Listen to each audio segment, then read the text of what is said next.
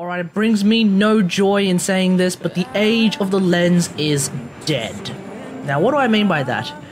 Basically, the Lenz has been power creeped the ever loving crap out by the Kuva Bramma, and the Bramma does everything that the Lenz can do, only better. So, for example, using a very specific build, we have these 8 level 100 corrupted heavy gunners.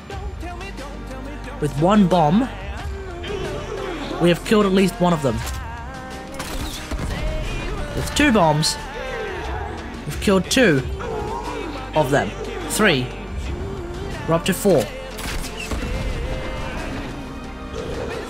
And with three bombs, we kill all of them? Question mark? Oh, that one's being particularly stubborn. So, one, two, three, about four, okay? And we're very much using this specific build, which is a stock standard Hunter Munitions critical build. Critical mods, uh, viral damage, vile acceleration, Hunter Munitions. Vile acceleration is actually quite useless on the Kuva Bramma because the Kuva Bramma already has a really, really fast fire rate. It will make more sense to use something like Prime Fast Hands, which is what I normally use, okay? The reason why we're going to use a build like that on the Kuva Bramma is because when we compare it to something like the Lenz, we are comparing it to this build, which is exactly the same. Viral damage, uh, critical damage, vile acceleration, hunter munitions, and we're also even using amalgam serration to do all that stuff. So against the exact same level 100 corrupted heavy gunners, first bomb. Doesn't do a whole lot namely because of the low status chance.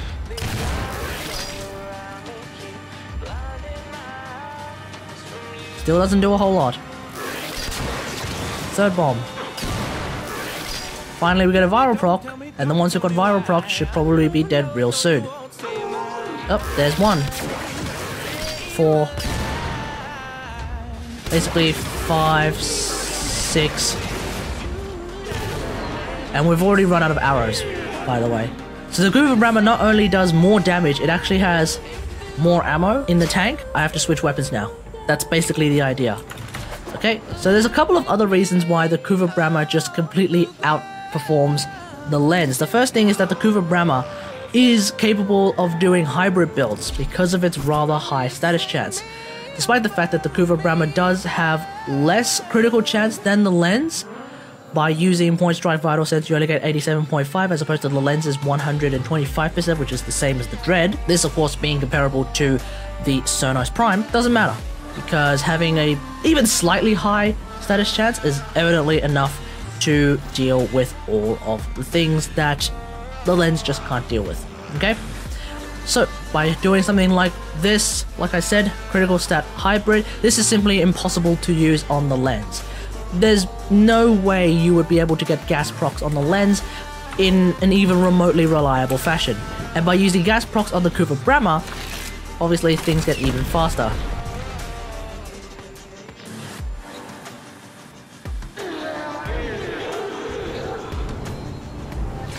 Exactly, and then those two are just being particularly stubborn, that's about it. You can't do that on the Lenz, the status chance just does not allow for it. So this would be the build that I'd normally play around with, just cause. Let's just compare this build to the Lenz build that I normally used with the Riven, and let's just see which one goes faster. So this would be the hypercritical viral build.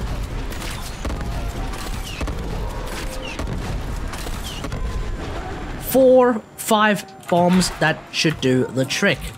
Whereas with the Lenz, using this particular build that has Lenz Krita Mag, bringing the critical chance all the way up to 195%, it's going to take us a lot more than 5 arrows to blow up all of these corrupted heavy gunners. In fact, I can't actually kill these corrupted heavy gunners with 6 arrows. They still have a lot of health left. Now that being said, there is one main advantage that the Lenz still has over the kuvabramma and that is its range. In the sense that if we were to stand all the way back here, and we want to aim at these corrupted heavy gunners, we basically aim ever so slightly above them, and that'll hit them. In other words, Lenz bombs do travel in a reasonably straight line, so that's pretty damn good. However, honestly, I don't think that's going to be that big of a deal. First off, this really only comes into play on a very few amount of maps, as secondly, it only really ever comes into play in like Plains of Eidolon or or Vallis or any other open world map when you have a ton of space to use. So in the meantime, when we aren't in the Plains of Eidolon or the Orb Vallis, we could just learn to aim ever so slightly higher. So I think around about here this should do it. Nope. It's higher. Yep, there we go.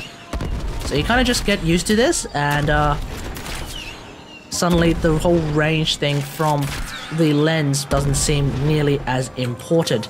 Furthermore, if you find that you are aiming too high and you overshoot, you can always detonate earlier.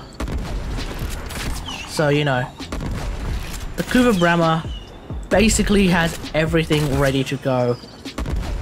It's quite a very, very powerful weapon. Just don't hit a wall. That's basically it.